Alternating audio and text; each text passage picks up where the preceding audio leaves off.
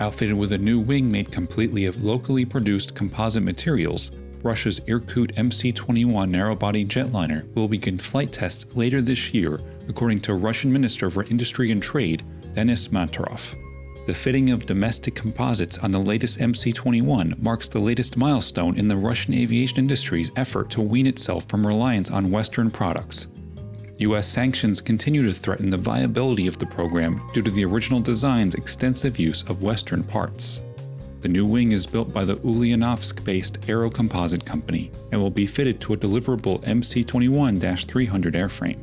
According to Yakovlev, the company that designed the aircraft, the use of advanced composite materials and a patented infusion technology enabled the design house to develop a wing with an aspect ratio of 11.5, notably higher than respective figures for previous generation narrowbodies, which typically fall between 8 and 9 and larger commercial jets at 10 to 10.5. The higher aspect ratio results in a higher lift to drag ratio and improved aerodynamic performance.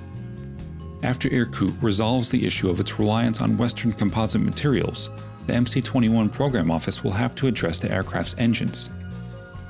Given a choice between the Pratt & Whitney PW1400G and Russian-made Aviad Vigatel PT-14, most airlines selected the US-made turbofan even though Pratt & Whitney did deliver a number of engines, including four operable prototypes, still tightening US economic sanctions on Moscow threaten their availability. So far, 12 airlines have placed orders for the MC-21 and half of those are based outside Russia. Irkut's parent company, the United Aircraft Corporation, expects the model to receive Russian type certification for the PW1400G powered MC 21 300 by the end of the year, and deliveries to begin in 2023.